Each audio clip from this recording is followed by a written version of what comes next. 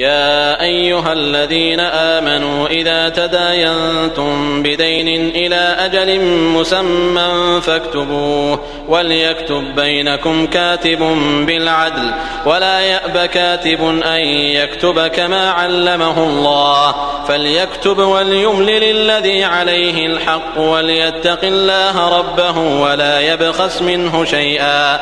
فإن كان الذي عليه الحق سفيها أو ضعيفا أو لا يستطيع أن يمل هو فليملل وليه بالعدل. واستشهدوا شهيدين من رجالكم. فإن لم يكونا رجلين فرجل وامرأتان ممن ترضون من الشهداء ممن ترضون من الشهداء أن تضل إحداهما فتذكر إحداهما الأخرى ولا يأبى الشهداء إذا ما دعوا